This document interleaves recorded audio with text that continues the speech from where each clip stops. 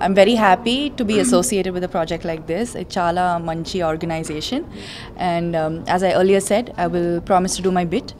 I hope we see more of uh, such events and organizations that come up because we really need it at this time. And uh, thank you, thank you so much for making me a part of this.